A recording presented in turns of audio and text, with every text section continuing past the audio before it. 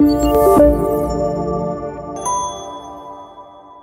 ثم الآن معنا في رواق سبعة ديال المؤسسات اللي نشا هذا الدستور ديال 2011 هذه المؤسسات كلها تتشارك يعني في الديمقراطية التشاركية في حماية حقوق المواطنين والمواطنات وكذلك في آه، الحكمة الجيدة في المغرب. الزائر غيمكن له يعني في نفس الوقت في نفس الرواق يعرف يتعرف على هذه المؤسسات يطرح كذلك الأسئلة اللي اللي عنده عنده حول هذه المؤسسات حول طرق العمل ديالها وكذلك حول الإنجازات ديالها. هنالك لقاءات يومية مع هذه المؤسسات باش نتعرفوا على الدور ديالها الخاص إلى جانب الفاعلين الآخرين.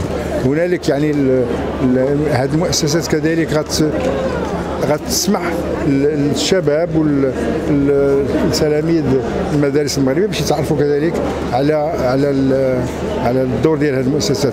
تنظن مهمة هذه المبادرة لأنها كذلك خص المواطنين يعرفوا بأنهم يمكن يلجؤوا لهذه المؤسسات لتقويه الحماية ديال الحقوق ديالهم.